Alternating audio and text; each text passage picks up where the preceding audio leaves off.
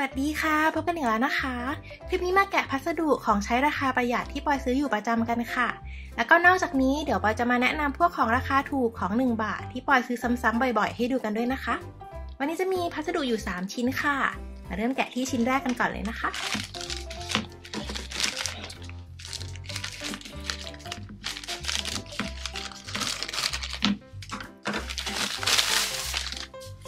นี่ค่ะ อันนี้จะเป็นกล่องใส่ของกล่องจัดระเบียบนะคะ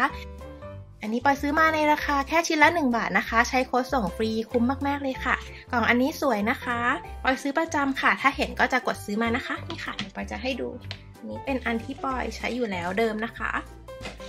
เราสามารถเอามาวางซ้อนกันแบบนี้ได้เวลาเก็บนะคะ ไม่เปลืองเนื้อที่ค่ะ แล้วก็เรายังสามารถเอามาวางเรียงๆกันบนชั้นต่างๆ เพื่อเก็บของได้นะคะ ดูสวยเป็นระเบียบดีเลยค่ะนี่ค่ะ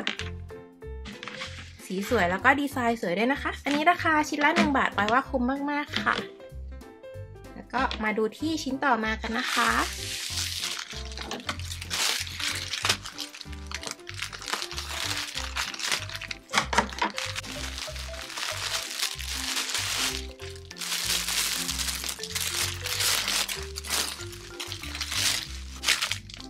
อันนี้จะเป็นเสื้อยืดนะคะนี่ค่ะ เป็นของยี่ห้อยืดเปล่าใส่สบายดีนะคะ เป็นเสื้อยืดแบบเรียบๆ basic เลยค่ะ อันนี้ร้านมีโค้ดลดบ่อยนะคะ ไปได้มาในราคาตัวละ 25 บาทเท่านั้นเองค่ะ ใช้โค้ดร้านร่วมกับโค้ดของ Shopee นะคะ อันนี้ใส่สบายใส่โอเคดีค่ะปอยมีหลายตัวแล้วนะคะ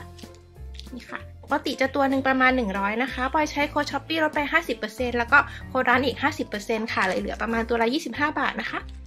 สำหรับโค้ดลด 50%คืนนี้ก็มีแจกด้วยนะคะ ถ้าใครอยากช็อปเดี๋ยวปอยจะใส่ลิงก์พิกัดหน้าเก็บโค้ดเอาไว้ให้ที่รายละเอียดใต้คลิปนะคะทีนี้มาดูที่ชิ้นสุดท้ายกันค่ะ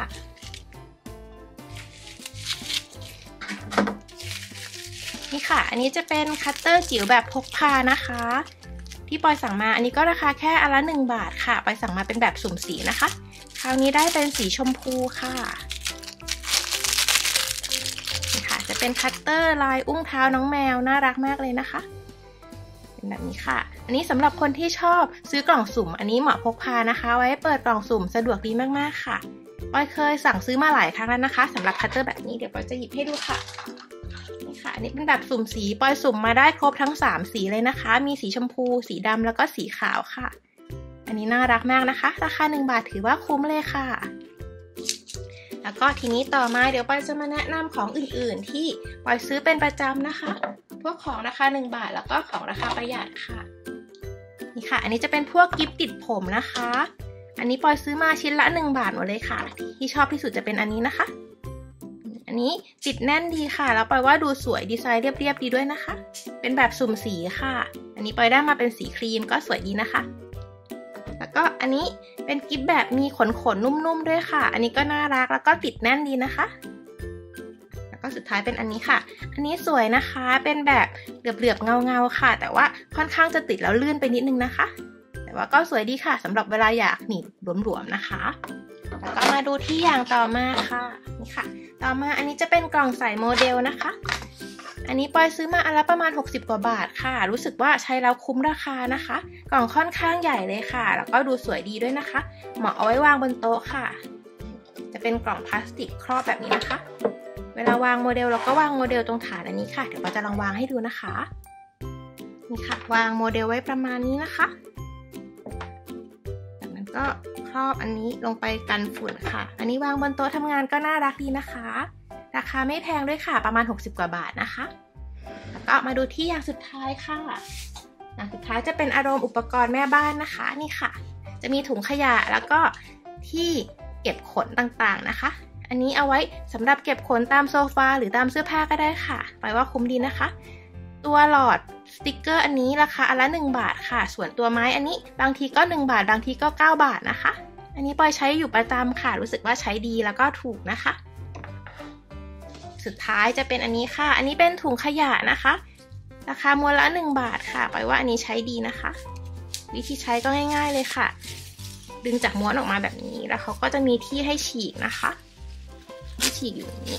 ก็จะฉีกแยกออกมาเป็นใบๆค่ะ แล้วถุงอันนี้ก็ใช้สะดวกมากนะคะ เวลากางออกมาเป็นแบบนี้ พอใช้เสร็จแล้วเนี่ยเราสามารถดึงหูแบบนี้ แล้วก็มัดปากถุงได้เลยค่ะนี่ค่ะ ดึงรูดหูแบบนี้ แล้วก็มัดปากถุงหยิบไปทิ้งได้เลย อันนี้ปอยชอบใช้นะคะ เห็นทีไรก็จะกดสั่งซื้อมาค่ะ ก็มีประมาณนี้นะคะสำหรับของใช้ราคาประหยัดที่ปอยซื้อเป็นประจำค่ะปอยก็หวังว่าคลิปนี้จะเป็นประโยชน์กับทุกคนนะคะ ถ้าใครชอบคลิปนี้ก็รบกวนกด subscribe ช่อง YouTube ของปอยเอาไว้นะคะ แล้วจะมีคลิปใหม่ๆ มาให้ติดตามกันอีกเรื่อย ๆ เลยค่ะไว้พบกันใหม่นะคะ